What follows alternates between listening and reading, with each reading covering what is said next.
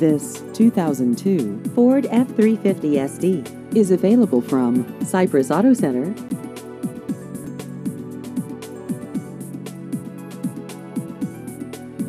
This vehicle has just over 139,000 miles.